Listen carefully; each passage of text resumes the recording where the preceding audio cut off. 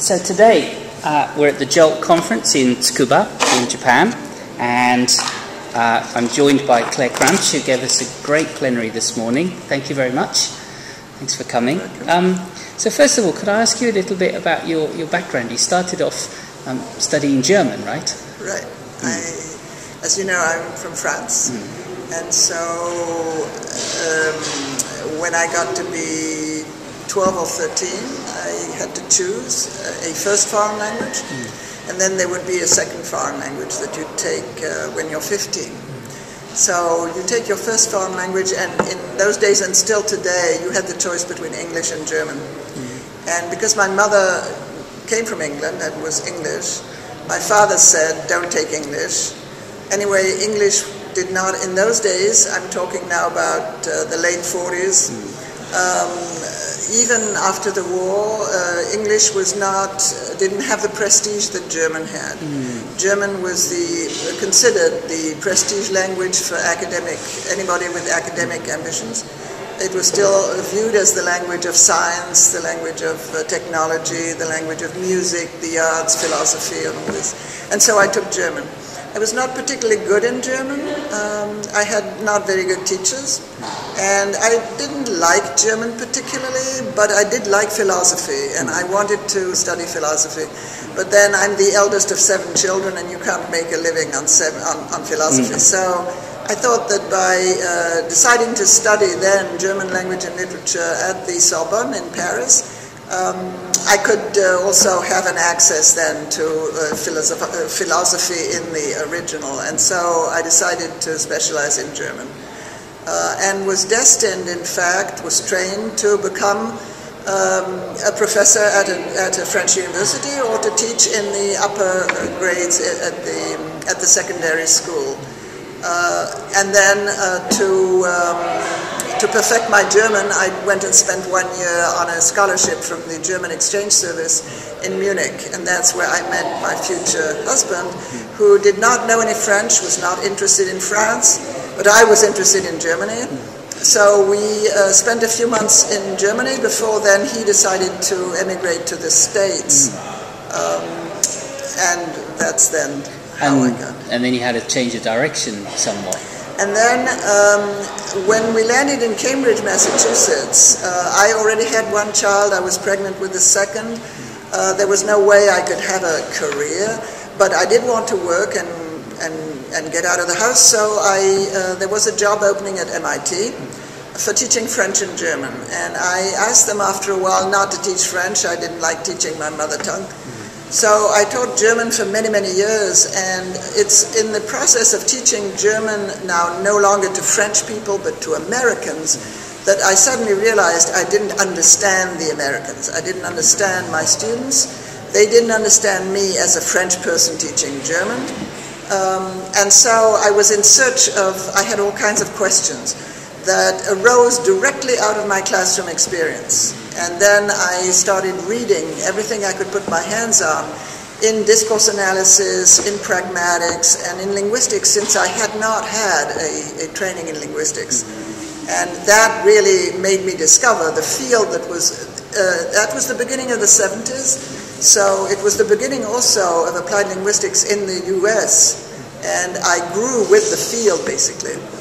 Well, that, that we'll, cut a lot out, but that brings us kind of up to today's plenary, really, which is uh, you were talking about um, language and, and borders, and Yes.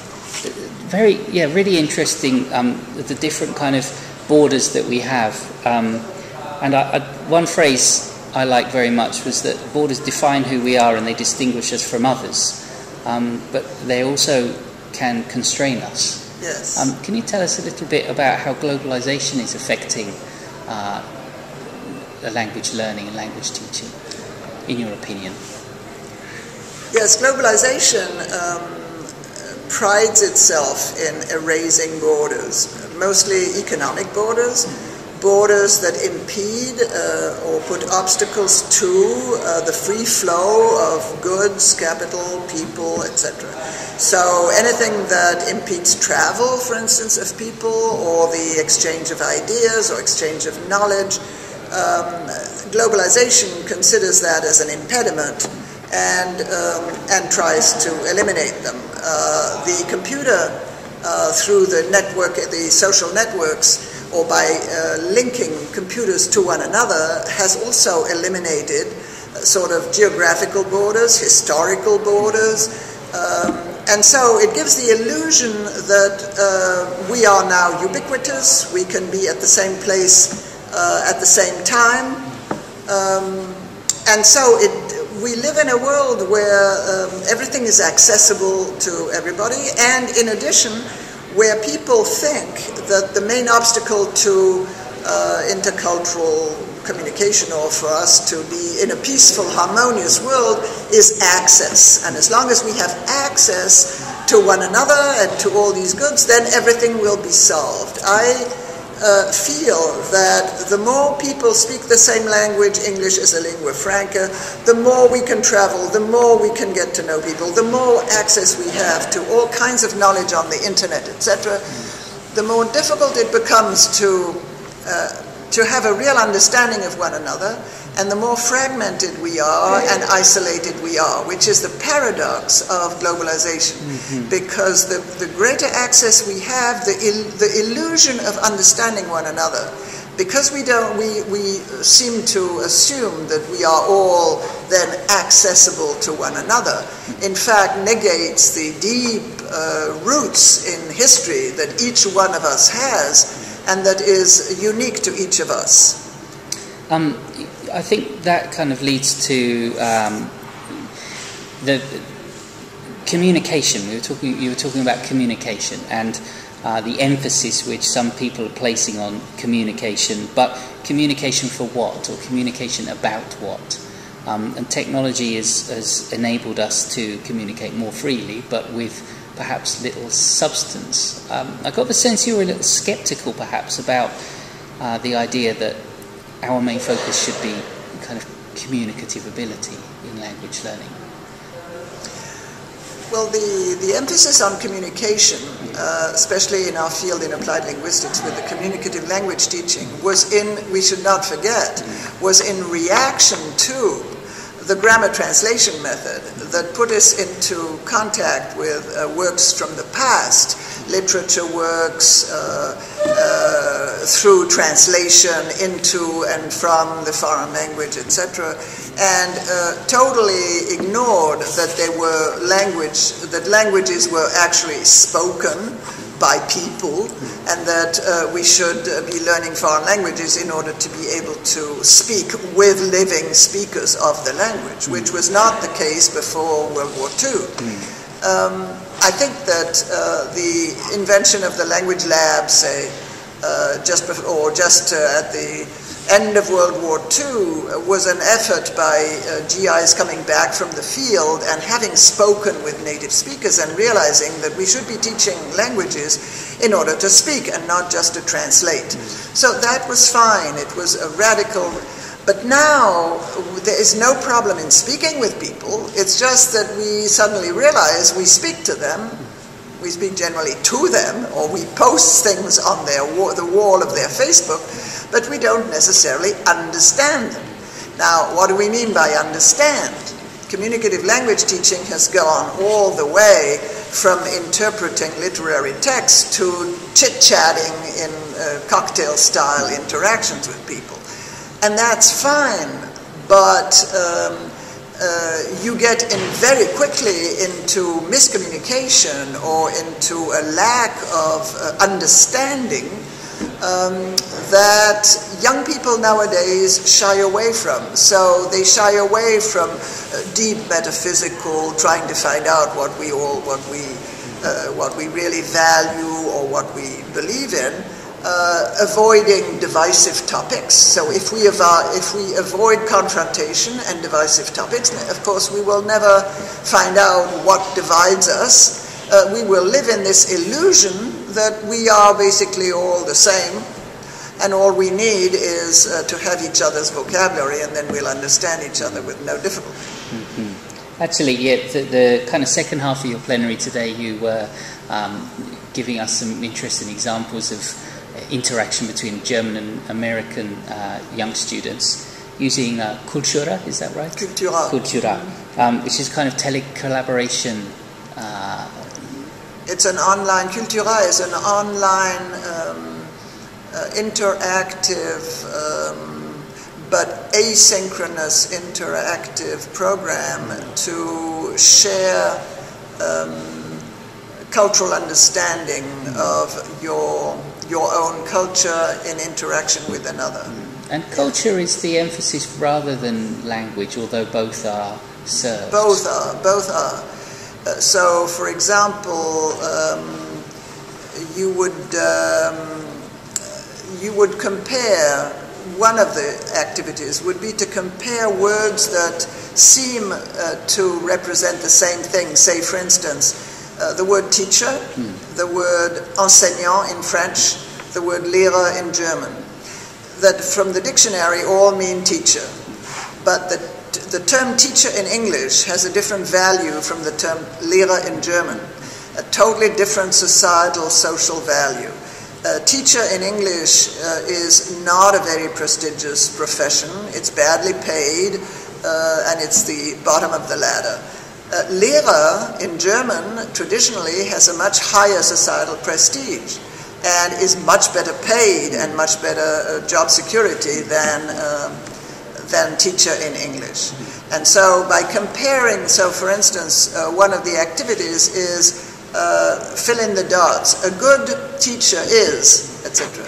Or uh, a good neighbor is dot, dot, dot. And you have these sentences in French and German, etc. And by, by asking the uh, the people from various national cultures to fill in these uh, half finished sentences, you will get an insight into the values of their society uh, respective to a neighbor or a friend. Or a friend is not the same thing as un ami in French or a Freund in German. Would these usually these exchanges usually be conducted in uh, English or all of the languages? All of the or- languages. Okay. Yes. So you would have Americans learning French uh, in conversation with native speakers of French, speaking French, who might. And now I forget whether there's. Uh, I, I think, yes, the purpose is to to have learners of French converse with uh, with native speakers of French in French, and then uh, them doing the same thing in English. Yeah, yeah. So Yes. kind of language exchange Yes, in a very like Exactly. kind of tandem. Yes. Yeah. Yeah. Um, yeah, there, there, are, there are a number of different kind of projects and, uh, around this telecollaboration basic idea. Right. is one of them. Um, so you also talked about um, modernity and, and the teaching, the language teaching profession as, as still being, um, I suppose you could say to some degree, a little bit old-fashioned, a, a view of of language which is not necessarily accurate. And you talked about things like order versus disorder, um, authenticity and purity versus a kind of hybridity. Um, can you develop that a little bit for me? I was teaching. I was speaking, of course, from the perspective of a foreign language teacher, of a non-English language teacher. I don't teach English; I teach German. So um, these languages, and I, English is really a, a separate case because English is a, is a global language. Uh, with not any particular cultural attachment to any particular national culture.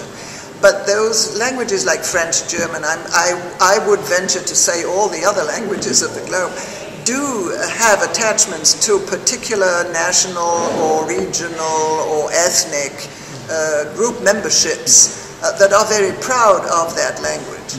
And so, um, all of a sudden I've got a blank. Can you, can you So, uh, well, the, the, the goal is for, especially for, for English, let's say, that um, there is a norm, there's a native speaker norm that we aim at. Yes, that, yes. that we shouldn't have code Right. switching. Right, so it's wrong. much easier for, for teachers of English to talk about hybridity and code switching and translanguaging and, and code meshing like Canagarajah does than it is for the teachers of other languages. Uh, if, like for the French, if uh, your language, your national language, is part of your national treasure and national language, you're less uh, prone or less disposed to um, to praising hybridity and uh, and all that, which is why I use the word modern. Um, because uh, post-modernity or post-structuralism, etc., tries to get out of that national kind of um, uh, those national boundaries. Hmm. Well, I suppose if we look at things like the British Council, for example, yes. um, they they maybe have a different perspective than uh, the, the French uh, Académie Française. Yes, and the right. German uh, Goethe Institute. the Deutsches Institut yeah. or, or, Goethe Institute. Yeah. Right. Although. I mean, they're all trying to export soft power to a degree, I suppose. Exactly, exactly. So, is the the British Council mm. sells soft power, mm. but it does sell British English. I mean, it mm. sells, you know, speak British, buy British products. Yeah, yeah, yeah. So th- th- there's a fine line, but I think uh, the British Council can afford to sell also, you know, a, a universal o- ownership of English. Mm-hmm because of the power of Oxford University Press, mm. Cambridge University Press, and the British market. Mm. Um, but uh, the French don't go for hybridity at all. But French is uh, also an international language, right? I mean, exactly. large swathes of Africa, parts of Asia speak exactly. French. And, but, yes, but francophonie, la francoph- which is mm. la francophonie, mm. doesn't go in for code switching and code meshing and mm. all this. Yeah. I mean, uh, until very recently, they, they are starting to admit varieties of French, mm. like Senegalese French mm. or etc.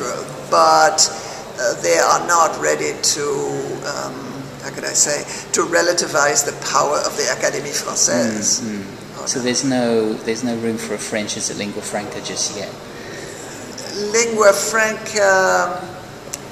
Well, the standard French as a lingua franca, mm, but, not, but, not, but not as a variety. What, what you call in English lingua franca. Yeah, no. yeah. Um, so, I mean, do you see that changing in the future? Do you think this is something that, that uh, teachers of other languages, as, as, apart from English or as well as English, need to address? This, uh... They need to address, but I think the English speaking world should also realize the threat, the threat the enormous threat that English poses for, for these other languages. Mm. Because the minute you open the door for, uh, for German mixed with English, mm. French mi- mixed with English, mm. Considering the power, symbolic power of English in the world, mm. English won't just mix, it'll, it'll take over. And so you have de- definitely the feeling with the French that they are under siege. Mm-hmm. And they have to protect the French language against too much incursion from English. Mm. The Germans don't seem to be uh, as uh, concerned as the French are. They've never been. Which is why you can go to Germany and sometimes I have the feeling that Germans don't don't uh, value their own language that much that has been traditionally maybe their strength, or I don't know, depending on uh, on how you see it. Far more Germans speak English than French speak English, I believe, right? Yes. Yeah. Yes. Mm. That has to do with cultural traditions and history, of hmm. course. Mm. Yeah. Okay. Um, so, a couple of phrases to, to kind of sum up. There, there were a lot of uh, things that I noted that, that really appealed. Um, I like that you talked about the space between languages that's what we need to to um, to understand. Can you enlarge on that? What did you mean by the spaces between languages?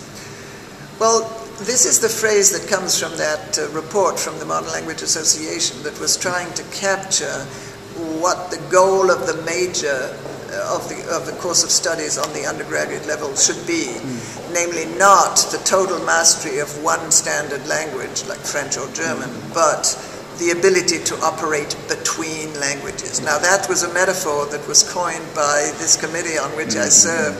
Uh, it's everybody's guess uh, as to how it can be operationalized.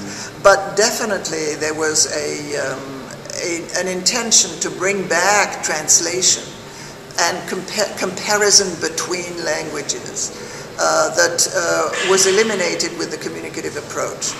Uh, so bring back more reflexivity, more uh, comment on the more meta-linguistic uh, reflection in the classroom. Uh, this is how Germans do it. This is how English speakers do it.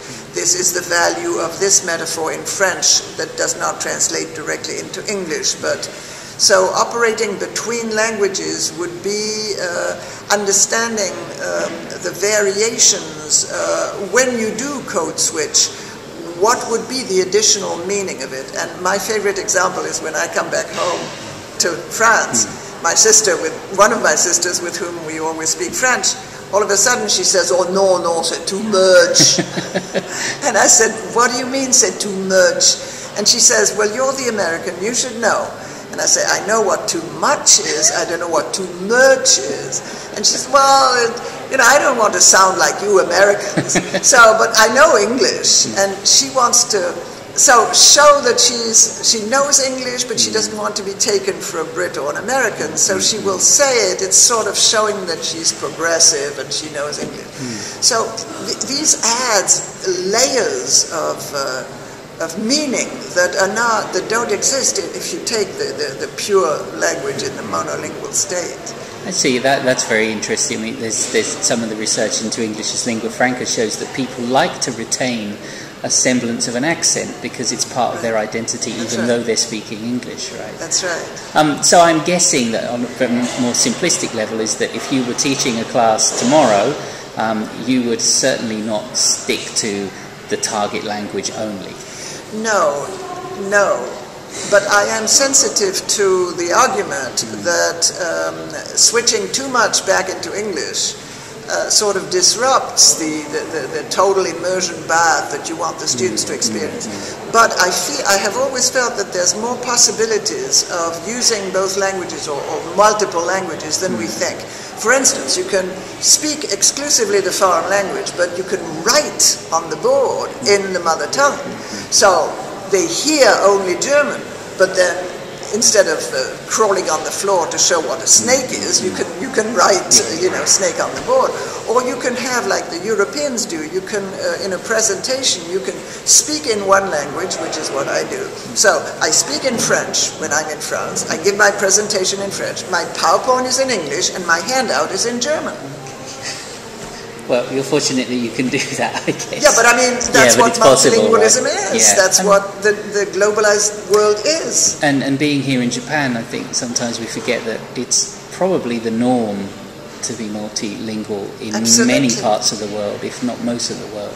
Absolutely, and I always, I always, since I'm now president of AILA, and I, I see in these congresses, AILA used to be French and English. Now they've dropped French, because even the French come to Brisbane hmm. like last last August and present in English. Hmm. Why not speak in French to hear that beautiful language hmm. with the PowerPoint in English, and and, and, and then the handout also in English, but. There are multimodal ways of, of operating between languages.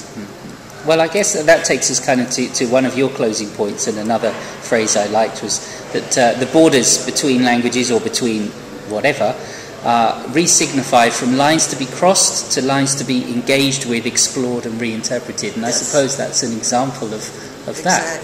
Exactly, exactly. And never losing the opportunity every now and then in the classroom. It doesn't mean changing your syllabus or changing your lesson plan, but never lose an opportunity to say, ah, look, there's the difference, or hmm. point out and, and, and discuss the difference. Okay, well, that's a great note to finish. Thank you Thank very much. Thank you.